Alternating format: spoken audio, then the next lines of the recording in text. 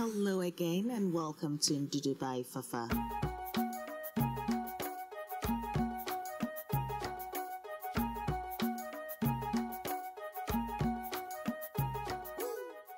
Thank you again for joining me for another experience with Fafa. As you can tell, we are going to be making some fura fula, which is gluten free, made out of millet, and it's incredible. So, for the list of ingredients, you would need your grains of selim. If you don't have that, you can use your black peppercorns. Yes, reason is the grains of selim has that black peppercorn taste, but of course, it's got a muskier flavor attached to that. Next thing is the guinea peppers. They are readily available online or at Amazon. Just try it, you might get some. And then we've got cloves, yes, and I love the flavor of cloves in this dish. I've got my ginger powder, but you can use your fresh ginger, and I've got my cayenne pepper as well. You can use your normal red chilies or your fresh chilies. I've got my aniseed, and then, of course, the African nutmegs. I've got that licoricey sweet flavor also being incorporated into this dish. Obviously, in the UK, we're still in the lockdown. So I had to find a way that, you know, one can still enjoy this recipe or get as close as they can to the original recipe with limited ingredients. So these three ingredients are going to be incredible and they would help you. So, number one, you will need your mixed spice, okay? The mixed spice should have as a list of the ingredients on the box, on the bottle, whichever way you buy it from should have a clove and a nutmeg base as well as an allspice base. Yes, allspice also known as pimento. And with that, it has that licoricey flavor still. It's got the black peppercorn that's included in there. So if you have your cayenne pepper, ginger, and your mixed spice, you're good to go. So that will substitute all these other spices. So yeah, I love creating things and learning about flavors and, you know, getting as close as I can to the original recipe with limited ingredients. I love learning new things. Definitely. The day you stop learning is the day that you're dead, is what I say. I'm always up for learning something new. Absolutely.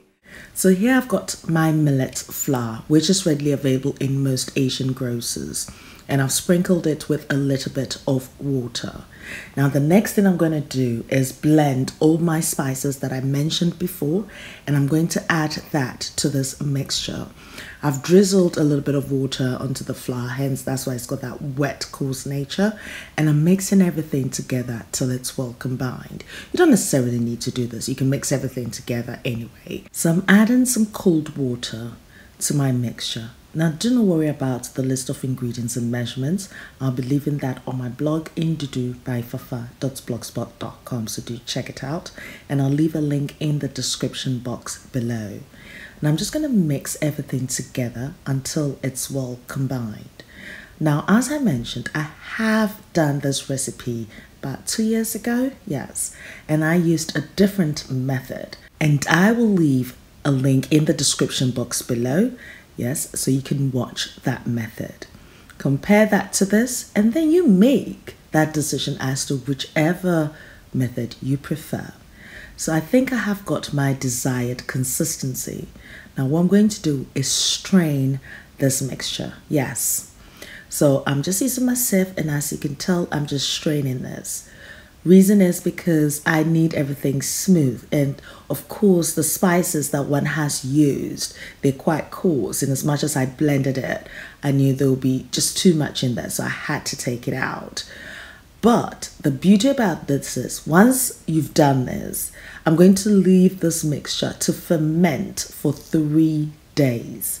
And what I then tend to do is I keep feeding it Yes, it's my trick. So it means that I can always make fura on a whim. Because the most, you know, time consuming part is fermenting this. So once you have it, it's almost like a starter, then you're good to go.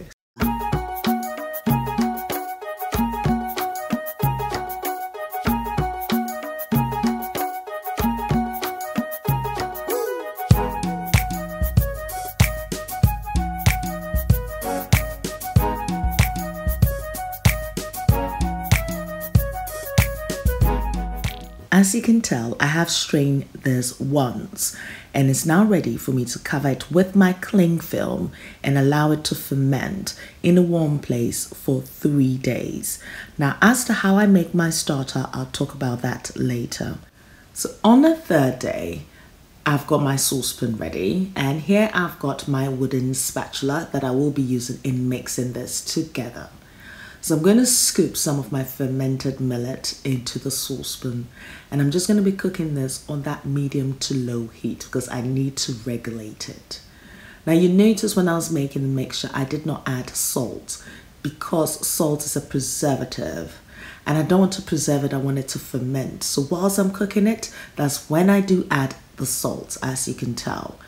And now I'm just going to be mixing everything together on that gentle to lovely heat until I know that it thickens up and it starts to have that double cream consistency. And then it gets all exciting.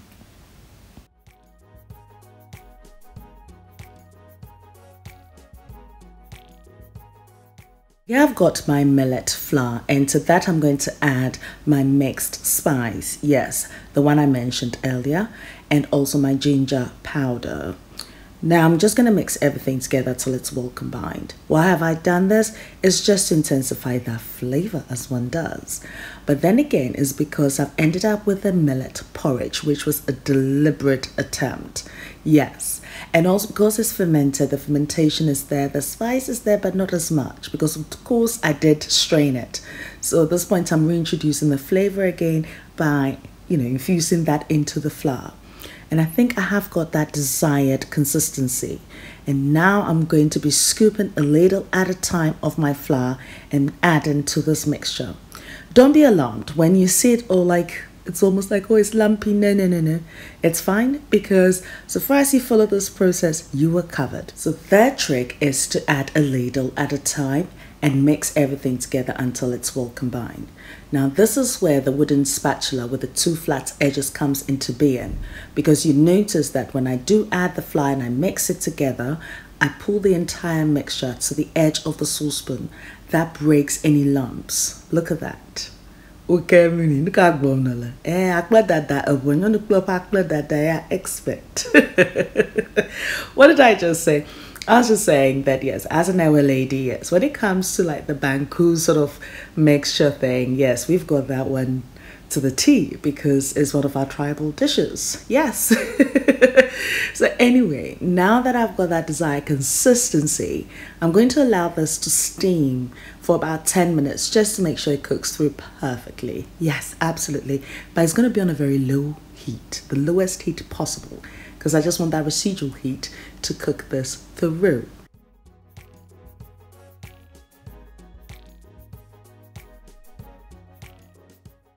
Now, I thought this would just go in nicely. Boom! of course, it had to go that way because this is the texture that you do require. That is still firm but soft. Exactly.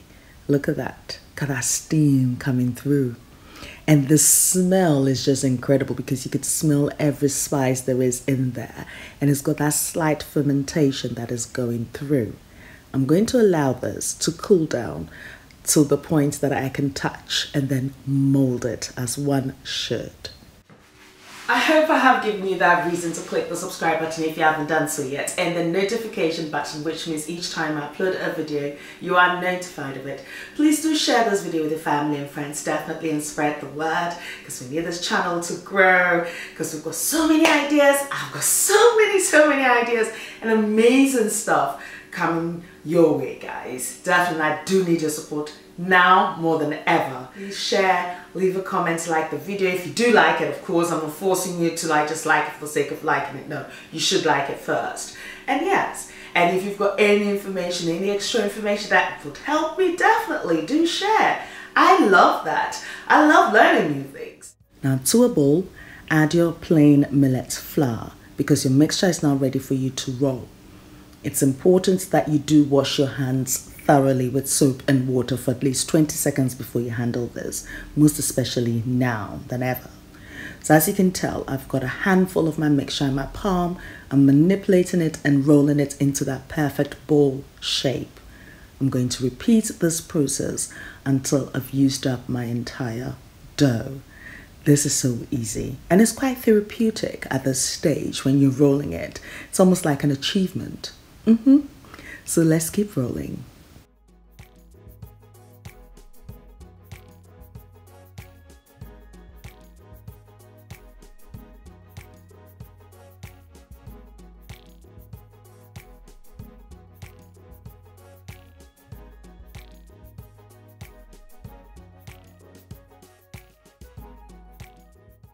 At this point, my Fura Fula balls are ready.